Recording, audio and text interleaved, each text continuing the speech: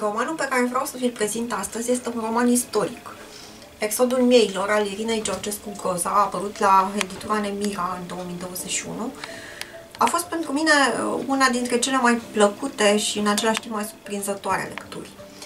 Dacă vă întrebați de ce m-a surprins un roman istoric, am să vă răspund, pentru că uh, este un roman istoric care nu pică în facilitatea clișeului, așa cum se întâmplă cu destul de multe uh, romane istorice.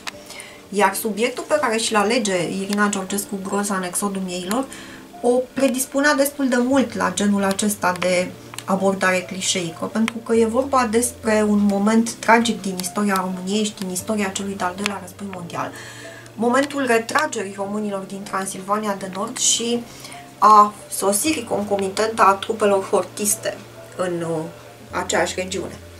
Uh, personajele Irinei Georgescu Groza sunt români și maghiari, țărani și aristocrați în același timp și orășeni unii dintre ei, personaje foarte diverse și în același timp foarte vii, foarte umane, care te invită în fiecare pagină uh, să participi la aventurile lor și care reușesc să te cucerească. Sunt oameni convingători cu toții, tocmai fiindcă nu există nici la nivelul acestei abordări umane vreun clișeu. Uh, nu există români buni la modul absolut și unguri diabolici la modul absolut. Sigur că există o tensiune permanentă între personaje, ceea ce este foarte bine, dar ele rămân mereu vii, iar relațiile dintre ele rămân mereu convingătoare și complexe. Uh, marele simbol din această carte este tunelul numit Sub Pământa, un tunel legendar prin care românii încearcă să se retragă din fața armatei hortiste în vechiul regat. Și în acest tunel în care se întâmplă o bună parte din acțiunea romanului, se concentrează, de fapt, așa cum veți vedea, în diverse elemente simbolice, o întreagă gamă de legende transilvanene, uh, o întreagă gamă de simboluri istorice ale împlinirii și ale neîmplinirii românești în egală măsură.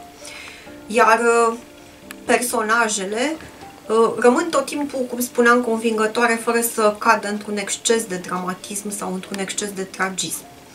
Cartea se citește ușor, Uh, pentru că, așa cum spuneam, uh, uh, personajele nu evită aventura, nu se păstrează liniar într-o evoluție care să te plictisească. Sunt foarte vii și unor foarte surprinzătoare. Finalul este de asemenea unul surprinzător, dar sigur că n-am să vă vorbesc despre final și vă las să descoperiți singuri cu totul cartea, inclusiv cu finalul ei. Și, de asemenea, lucrurile au o evoluție uh, care nu este deloc liniară și nu este deloc uh, plictisitoare. Este un roman care te prinde și te captivează în același timp, fie că știi, fie că nu știi istoria acelei perioade, fie că îți place sau nu îți place istoria. Poți să-l citești ca pe un roman istoric sau poți să-l citești pur și simplu ca pe o aventură umană.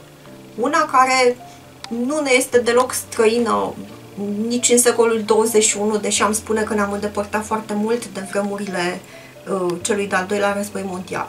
Pentru că personajele sunt niște personaje cât se poate de convingătoare și de verosimile. De aceea eu recomand această lectură tuturor. Mai tineri sau mai puțin tineri, mai mulți sau mai puțin pasionați de istorie.